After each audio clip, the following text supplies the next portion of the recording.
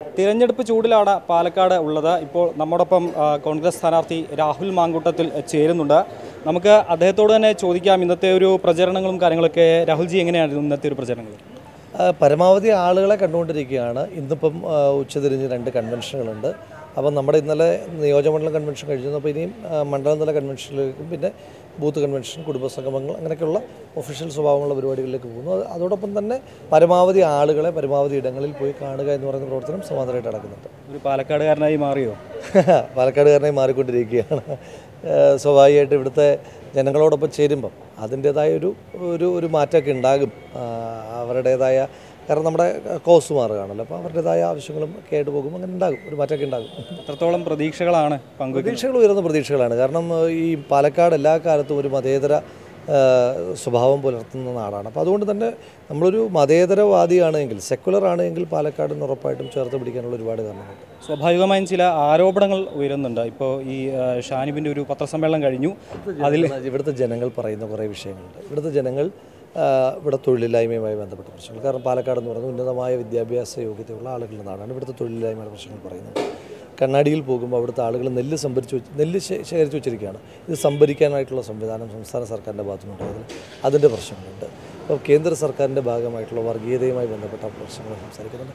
ജനങ്ങൾ സംസാരിക്കുന്ന ഗൗരവമേറിയ വിഷയങ്ങൾ അപ്പോൾ അവരെന്നോട് അതാണ് പറഞ്ഞുകൊണ്ടിരിക്കുന്നത്. പക്ഷേ കോൺഗ്രസിനെതിരെ വലിയൊരു ആരോപണമാണ് അവർ പറഞ്ഞിട്ട് ഉന്നയിച്ചോട്ടെ ഞാൻ ഞാൻ ഉന്നയിക്കാൻ ആഗ്രഹിക്കുന്നതും ഞാൻ പറയാൻ ആഗ്രഹിക്കുന്നു ആ വിഷയങ്ങളാണ്. വേറെ വിഷയങ്ങളിൽ എനിക്ക് കമന്റില്ല ആരോപണങ്ങളിലൊന്നും പ്രതികരണമില്ല. ഞാൻ ജനങ്ങൾ പറയുന്നത് ക്യാരി ചെയ്താൽ പോരെ.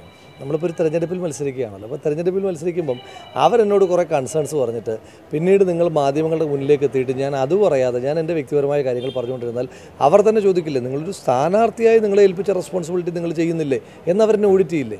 അപ്പോൾ ആ ഓഡിറ്റിൽ ഞാനൊരു നെഗറ്റീവ് ആകാൻ ആഗ്രഹിക്കുന്നില്ല. അവരുടെ പോസിറ്റീവ് ഓഡിറ്റിനോടൊപ്പം നിൽക്കാനാണ് ഞാൻ ആഗ്രഹിക്കുന്നത്. അതുകൊണ്ട് അവർ പറഞ്ഞ വിഷയങ്ങൾ അപ്പോൾ എ ഡി എമ്മിന്റെ കൊലപാതകം അടക്കമുള്ള വിഷയങ്ങൾ. ആ വിഷയങ്ങളിലൊന്നെയാണ് എന്റെ പ്രചരണം പോകുന്നത് എന്തൊക്കെ വാഗ്ദാനങ്ങൾ വാഗ്ദാനങ്ങളല്ല എന്തൊക്കെ കാര്യങ്ങളാണ് നാട്ടുകാരോട് പങ്കുവയ്ക്കാൻ നമ്മൾ സി ഇവിടെ രണ്ട് പ്രധാനപ്പെട്ട ജനപ്രതിനിധികളുണ്ട്. ഒന്ന് രണ്ട് തവണയായിട്ട് എം പി ആയിരിക്കുന്ന ശ്രീ വി കെ ശ്രീകണ്ഠൻ അതുപോലെ തന്നെ മൂന്ന് തവണ എം എൽ എ ആയിരുന്ന ശ്രീ ഷാഫി പറമ്പിൽ. അപ്പോൾ രണ്ട് ജനപ്രതിനിധികളോടും നാടിന് വലിയ താല്പര്യമാണ്. കാരണം അവർ ഈ നാടിന് വേണ്ടി ഒരുപാട് കാര്യങ്ങൾ ചെയ്തിട്ടുണ്ട്. അപ്പോൾ രണ്ടായിരത്തി ഈ അടുത്ത കാലഘട്ടം നോക്കുമ്പം ഈ നാടിന്റെ ഒരു സുവർണ കാലഘട്ടം എന്ന് പറയുന്നത് രണ്ടായിരത്തി പതിനൊന്ന് പതിനാറാണ്.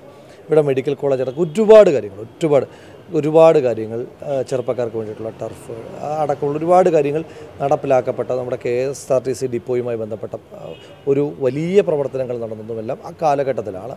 അപ്പം അതിന്റെയൊക്കെ തുടർച്ച. ഇപ്പോൾ ഈ തെരഞ്ഞെടുപ്പ് എന്ന് പറയുന്നത് ഒരു ജനപ്രതിനിധി എന്ന നിലയിൽ ചെയ്യുവാൻ കഴിയുന്ന കാര്യങ്ങളെല്ലാം പരമാവധി ചെയ്യുക. രണ്ടായിരത്തി ഇരുപത്തി ആറിൽ ഗവൺമെന്റിന്റെ കൂടി ഭാഗമായിട്ട് കാരണം രണ്ടായിരത്തി ഇരുപത്തി ആറിലെ ഗവൺമെന്റ് ചേഞ്ചിന് വേണ്ടിയിട്ടുള്ളതാണ് ഈ തെരഞ്ഞെടുപ്പ്.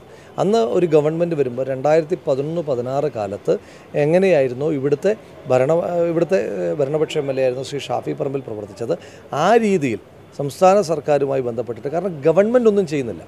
അപ്പോൾ വിചാരിക്കും പ്രതിപക്ഷ എം എൽ എമാരുടെ മണ്ഡലങ്ങളിൽ മാത്രമാണ് ചെയ്യാത്തത്. ഭരണപക്ഷ എം എൽ എമാരുടെ മണ്ഡലങ്ങളിൽ അതിനേക്കാൾ വലിയ കഷ്ടമാണ്. അപ്പോൾ അതുകൊണ്ട് ഗവൺമെന്റ് ഒന്നും ചെയ്യുന്നില്ല.